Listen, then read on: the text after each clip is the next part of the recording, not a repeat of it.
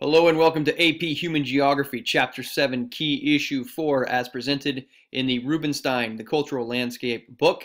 We're going to take a look at why do ethnicities engage in ethnic cleansing and genocide.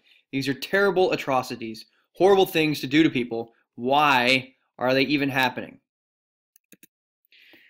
Ethnic cleansing. This is where you have a more powerful ethnic group that forcibly removes a less powerful group to create a homogeneous region, meaning they want to get rid of people who are different from them so they can create an area where everybody is the same.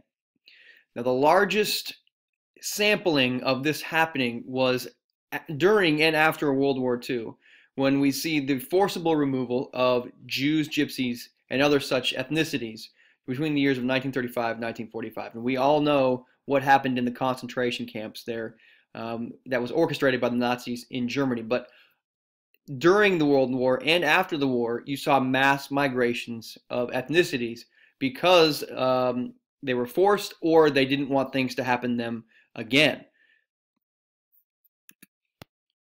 Now let's look at Yugoslavia. If you look over here, we're in the Balkan Peninsula, which to get a reference for where that is, you see Greece down here, you see Italy, the boot over here. So Yugoslavia used to be a country that housed multiple ethnicities within its one country or nationality. So it, this area had a large history, it had a long history of conflict. After World War I, the country of Yugoslavia was created by the Allies due to everyone speaking the similar South Slavic language. So they called it Yugo, which was the prefix meaning south. The nationalities that were housed within this country were the Croats, Macedonians, Montenegrins, Serbs, and Slovenes. They also spoke different languages. They spoke Croatian, Macedonian, Serbian, and Slovene. On top of that, you have different religions. You have the Roman Catholics, you have the Eastern Orthodox, and Islam. So there's lots of different backgrounds here and people that are very passionate about what they believe, how they speak, and how they live. So of course it's going to be a problem.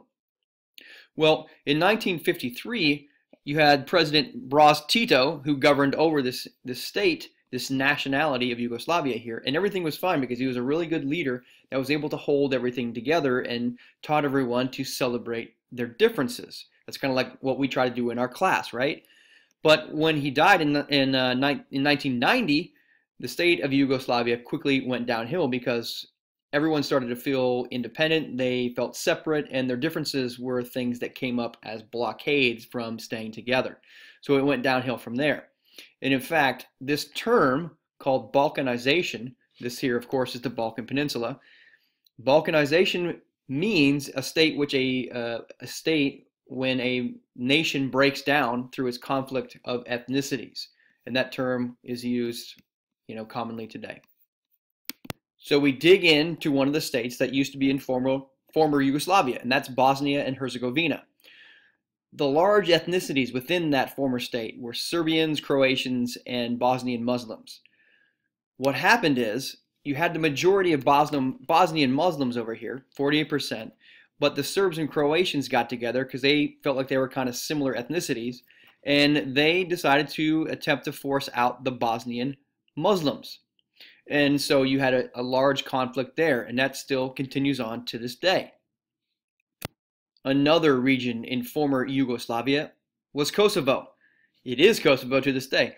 But when Yugoslavia dissolves, you had a situation where Serbia wanted to force their way into the region of Kosovo and get rid of the Albanians who they felt were encroaching on their territory. So because of this, the United States and European allies began an air campaign striking the Serbians to push them back to allow the Albanians to have what they felt like was their territory. In the end, the conflict basically remains to this day, and it still hasn't been resolved. So we look at a example of how these conflicts get documented. And when the situation in Kosovo was happening, there were a lot of people in the United States uh, and European nations who couldn't grasp the atrocities that were going on. They couldn't believe it. And so here's a specific example. This is aerial photography of a town called Glodane in Kosovo. And what we see here is the place where the citizens, the Albanians, lived. You can see their houses right here and some of their, their buildings and places of business. But what you also see, these red circles here, are armored, are armored vehicles. These are vehicles that are coming to force the people out of their houses. And those are Serbian armored vehicles. Over here in the red area, you see all the vehicles of the Albanians. They're all piled up in one area. And what starts to feel awful is you can see all the people rounded up in one area. They're displaced because of the violence in their home region. So just outside of where they're living, this dark area, this is all masses of people, and they're piled up here. And what the aerial photography revealed was that in this picture, you can see all the people here and you can see their vehicles. In the following pictures that were taken, there were no people, there were no vehicles, and their houses were all on fire. So this is one of the proofs that the world was able to see and get involved with the atrocities that were going on in Kosovo. All right, so now we're moving over to Africa. Specifically, we're looking at the region of the Sudan, which used to be the country of Sudan, but it's now split up into South and uh, South Sudan and Sudan. Genocide. We move from ethnic cleansing, which is terrible on its own, to a description where we see the mass killing of a group of people, not to move them out, but to eliminate them from existence. So this is different from ethnic cleansing, which, I mean, honestly, they're kind of the same because in the other examples, people were killing each other. So this is one of those political terms that is a gray area for who's trying to define it and for what reason. But in any case, we see here in the region of the Sudan, in 1980s, a civil war broke out between the black Christian and animist rebels versus the Arab Muslim government in the north. So the Arab Muslim government, they attempted to create one nationality with only Muslim traditions. They have laws that separate genders at all events, at school functions, and on all transportation. So this became an enormous conflict because you had the Muslim background and then you had the Christian and animist background, and that didn't mesh well together. Specifically, you may have heard of the Darfur region, which is on the western part of Sudan, where you had black Africans rise up. They were rebelling due to discrimination and neglect. In 2003, this is where you started to see this horrendous conflict. But because the government wanted their control, they incorporated some Arab nomads and they began a, a, fight that slaughtered people by the hundreds of thousands. In fact, this is one of the largest atrocities that the world has ever known. This was, you know, during during my uh, years in high school with you guys, uh, where you are now. But over a few years, you saw 480,000 killed by this conflict. This is genocide. Genocide. They're going to wipe these people off the face of the earth. There was not on top of that, there's 2.8 million people displaced in refugee camps. So it was a horrendous situation. We look at Ethiopia and Eritrea. So we zoom in, we're on the Horn of Africa over here. Um, we've got Ethiopia, which was an independent nation for 2,000 years. Basically, as, as long as you can think back, Ethiopia is an independent nation, taking care of itself. Then in 1890, Eritrea becomes an Italian colony, meaning Italy came in and they took it over. In the 1930s, after World War I, and moving into World War II, Italy captures Ethiopia, which is this region right here. So Ethiopia dissolves, I'm sorry, so after World War II, when the Nazis and the Axis powers are pushed back, Italy moves out of there and the United Nations gives Eritrea to Ethiopia. So it gives a small area to Ethiopia. And it's given that with the premise that they're going to be fair and they're going to be equal rights for both areas. But really, that doesn't happen at all because why would this ethnicity group in Ethiopia want to watch over a different ethnic group in Eritrea? Specifically, when Ethiopia dissolves a language in Eritrea and dissolves their government, you know we're going to have problems. So a 30-year civil war begins in 1961 and it lasts till 1991, where Eritrea does win independence officially. Of course, it didn't last, and in 1998 another war broke out, it continues because they have this border dispute right here on whose land this actually is. And even when we dig in, zoom in to Eritrea, we've got ethnic conflict within that country. We've got conflict between the Muslims and the Christians.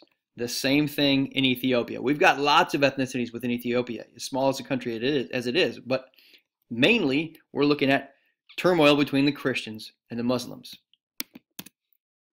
Somalia. Now we're really on the Horn of Africa. In the 1990s, the government collapses. You have struggle for control by a series of clans, each with separate armies. You have complex alliances that form and they interact with each other. In 1992, the U.S. sends troops in to protect relief organizations like the Red Cross who are there to, you know, serve, protect, bring medicine and uh, para- paramedicine, you know, trying to heal people who are in these terrible conditions, and people bringing in food, and they can't do it. So the U.S. sends in troops to protect the relief organizations. In 1994, these peace talks fail, so things start to collapse again. Islamist militias take control in 2004, and back in 2007, you have the U.S. that comes in. They're bombing because, of course, they're wanting to fight terrorists. So this poor area of the globe is just bombarded. The situation continues to be worsened, and it's not looking good because we've got drought that's just devastated the region. So poor Africa, they cannot get a leg up. Central Africa, Rwanda. We're looking at the Hutus versus the Tutsis.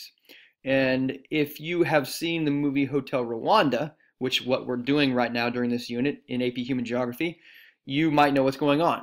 So historically, the Tutsi are cattle herders. They come in and they overtake the Hutu farmers that lived in the region of Rwanda about 400 years ago. So back historically, we have a problem. When Germany invades and takes over Rwanda in World War I, they start to be the first group of people that really make sure people are separated and identified, furthering this problem between these two ethnicities. After World War II, Rwanda is governed by Belgium, who separates them officially by giving them identity cards. So we really start to see that even though they look alike, and we probably couldn't tell them apart, they have identity cards that separate them. Rwanda gains independence in 1962, and the Hutus choose this as their time to clear out the Tutsis. And so the Tutsis, they retreat to Uganda.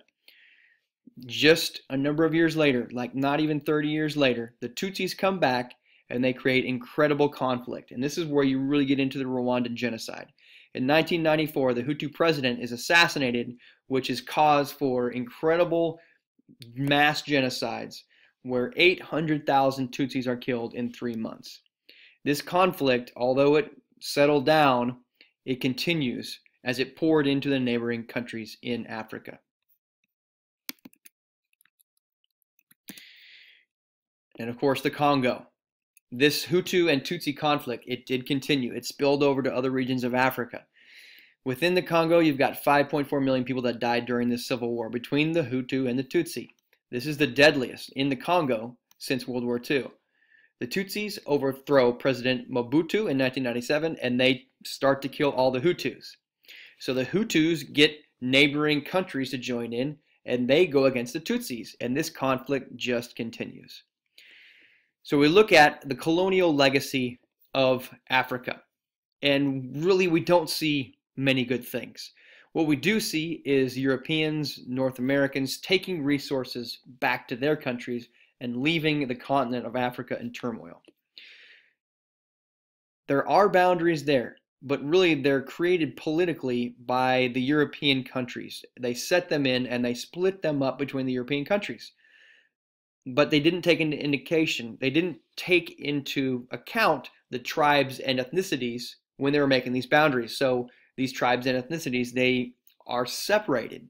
So how can you have one tribe, one ethnicity between two nations? That's going to cause conflict. So really, we've got some bad situations made worse by political factors. That's our look at Human Geography, Chapter 7, Key Issue 4. Appreciate your time, and we'll talk to you again.